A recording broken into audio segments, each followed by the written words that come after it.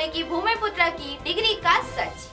क्या है नाना पटोले का भूमिपुत्र कहलाने का सच? दिल्ली से प्रकाशित होने वाली बिल्ड इंडिया पत्रिका में जुलाई 2009 में कार्यकारी संपादक इन्होंने एक आलेख लिखा था, जिसमें इन्हें किसानों के मसीहा और भूमिपुत्र की उपाधि से नवाजा गया था। हमारे चैनल ने जब इसकी इस भूमिपुत्र की उपाधि या यू कहे डिग्री की पड़ताल की और उन बिल्ड इंडिया मैगजीन के कार्यकारी संपादक से इस विषय में चर्चा की। तो उसमें यह साफ़ हुआ।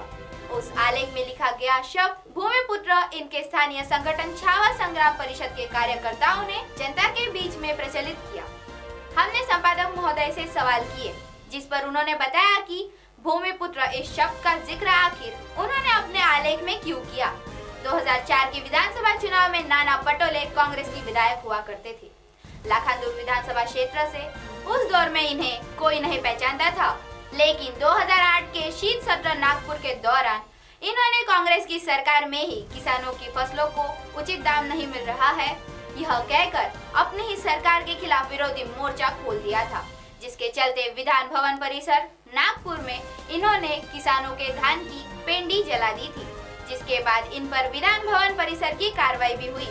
2009 के लोकसभा चुनाव में इन्होंने अपनी पार्टी से गोंदिया भंडारा लोकसभा टिकट की मांग की, जिसमें इन्होंने पार्टी के टिकट न देने की स्थिति में अपनी छावा संग्राम परिषद के कार्यकर्ताओं के भरोसे अपक्ष चुनाव लड़कर दो लाख मत लेकर भाजपा के ही सांसद रह चुके शिशुपाल पटेल की जमानत जब्त करा दी थी। जिसके चलते नाना पटोले उभरते हुए नेता के रूप में जनता के सामने आए और आगामी 2009 के विधानसभा चुनाव के पहले यह भारतीय जनता पार्टी की शरण में पहुँच गए। बिल्ड इंडिया समाचार पत्रिका के पूर्व कार्यकारी संपादक ने यह भी बताया कि जुलाई माह में जब ये लोकसभा चुनाव हार कर अपने घर में बैठे थे, तब इन्होंने संपादक को घर पर बुलाकर दिल्ली से प्रकाशित होने वाली इस समाचार पत्रिका में आलेख छपवाने के लिए मित्रता के तौर पर उन्हें बुलाया था।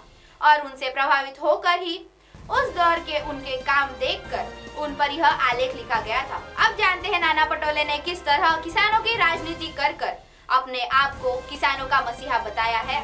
2009 के चुनाव में वापिस यह भाजपा के विधायक तो बने, लेकिन पाँच साल में इन्होंने कितनी किसानों की लड़ाइया लड़ी, यह यहाँ पर एक बहुत बड़ा सवाल है।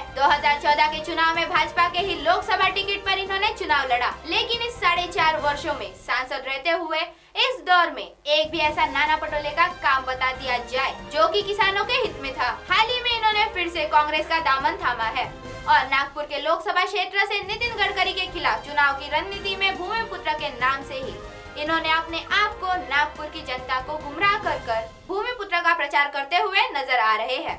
किसानों की समस्याओं को सामने कर कर इन्होंने केवल और केवल अपने राजनीतिक भविष्य को सुधारने का प्रयास किया है। यह है नाना पटोले के भूमि पुत्र डिग्री का सच। M N S news live की खबर देखने के लिए आज ही प्ले स्टोर ऐसी M N Hindi app download करें। और इस चैनल को लाइक सब्सक्राइब और शेयर करना ना भूले। तब तक के लिए धन्यवाद।